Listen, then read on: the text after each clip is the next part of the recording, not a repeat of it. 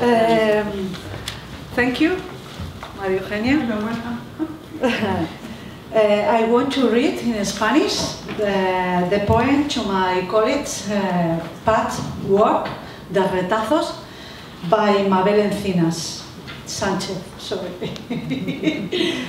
I chose this poem because it uh, describes my feeling as an immigrant. De retazos. La migración estela de retazos. Por poder o por guerras. Por culturas o artes. Por odio o por amor. Por temor o por valor. Por favor, por Dios o por ejemplo. Pero migración es retazos. Yo soy también retazos. En esta migración soy un globo de helio, resbalado de la mano infantil. Mi oficio es tocar nubes, mientras, abajo, lejos, la tierra parece que extrañara mis pies. Y no sé si soy pato sin parvada o perrito sin dueño, como se dice en México.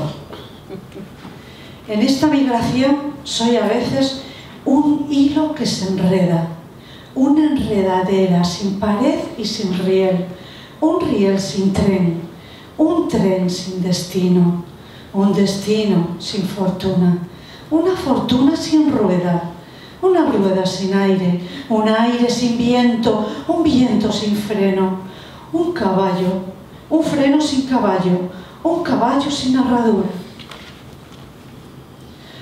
Una herradura sin casco, un casco sin barco, un barco sin papel, un papel que se pega a un zapato, un zapato sin suela, una suela sin correa, un cuero sin correas, unas correas sin mochila, una mochila sin cosas, una cosa extraña.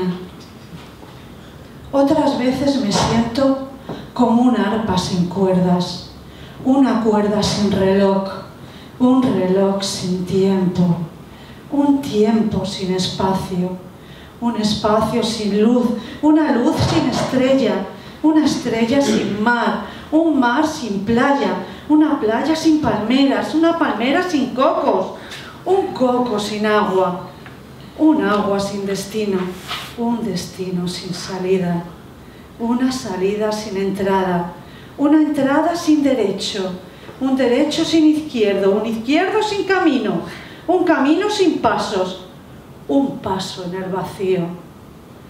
Como si migrar no fuera derecho humano. Thank you.